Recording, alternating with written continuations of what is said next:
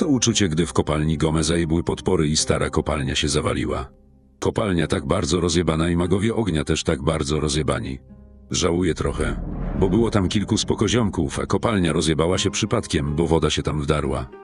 Śmiecham, bo Gomez płacze, a ja walę ryżówkę w nowym obozie, a magnaci go pocieszają, a ja siedzę w nowym obozie i kurwa jestem śmieszkiem poza kontrolą, złodziejem zawadiaką, maskotką kolonii i wybrańcem bogów. Siedzę w nowym obozie i jestem w innym świecie, problemy z kopalnią i rudą są tam, a ja jestem tu i mam też uriziela i same gacie i się śmieję. W kufrze mam bagienne ziele i ryżówkę. Subskrybując kanał, oceniając i komentując ten film doceniasz moją pracę i wspierasz rozwój mojego kanału.